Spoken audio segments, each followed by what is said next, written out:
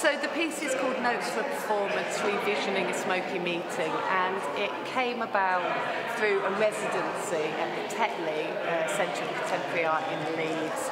And um, so I worked with the Tetley's archive to uh, develop the performance. And in the archive, there were loads and loads and loads of photos of men smoking. And the sort of archive, the sort of gendered nature of the archive is incredibly masculine, as you would imagine, of that sort of period. So that became a sort of starting point in a way for this idea about um, smoke and smoking as a, like a material uh, trope or manifestation of the past, but also as a sort of cinematic uh, signal of a recent history. So sort of thinking about sort of quite sort of classic cinema and how it uses smoke and smoking as a sort of dramatic device in a sense. And over the last few years I've been developing performance texts working with an audio describer who usually works in film and television for blind and partially sighted people.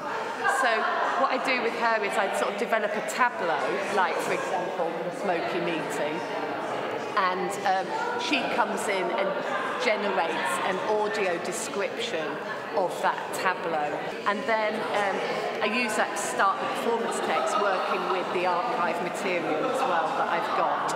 And, um, and then the first rehearsal she comes to again and generates another level of audio description. So each rehearsal we get another layer of uh, descriptive action which is in the text the, uh, the sort of self-description that you hear of them talking about themselves or talking about each other. So that's sort of a method in a way that I've used um, to generate the performance text. But alongside that, I worked with the archive material, which was very much a sort of corporate archive that was very sort of engaged in management of people and change management and uh, the sort of control and sanitisation of in that case the beers and the, and the factories but we sort of applied that idea to ideas about um, personnel and HR management and business speak. So that other narrative that runs through the text is this thing about cha managing change in big organisations. So that developed the uh, text, and then that's brought back together with this sort of tableau of 10 men sitting around a boardroom table, chain smoking.